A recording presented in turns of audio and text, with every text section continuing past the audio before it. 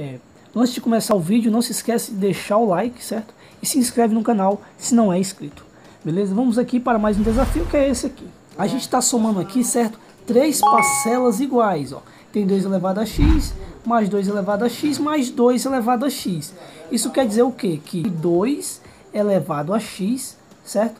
Vezes 1, mais 1, mais 1, certo? Por que, Neto? Quando eu aplicar aqui, ó, por exemplo, 2 elevado a x vezes 1 dá 2 elevado a x, mais 2 elevado a x vezes 1, 2 elevado a x, mais 2 elevado a x vezes 1, 2 elevado a x. Então é a mesma coisa, certo? Fazendo isso, eu tenho o quê? Que igual a 192. Continuando, eu tenho 2 elevado a x vezes 1 mais 1 mais 1, dá 3, certo? O detalhe está aqui, ó. Eu vou pegar esse 192 e vou fatorar, certo? Eu vou decompor em fatores primos aqui, ó. Por 2 dá 96. Por 2 dá 48. Por 2, 24. Por 2, 12. Por 2, 6. Por 2, 3. E por 3, 1.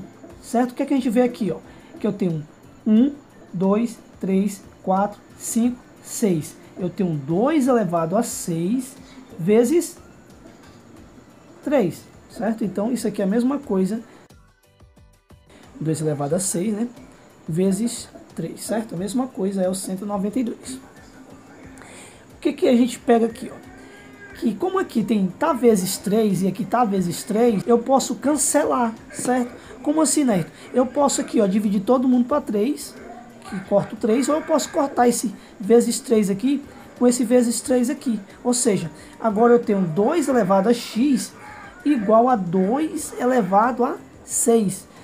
A gente conclui como, como as bases são iguais, a gente conclui que o x é igual a 6, tá? Que no caso aqui é a segunda opção, ó. x igual a 6, beleza? Eu vou ficando por aqui. É isso aí, meu muito obrigado. Valeu!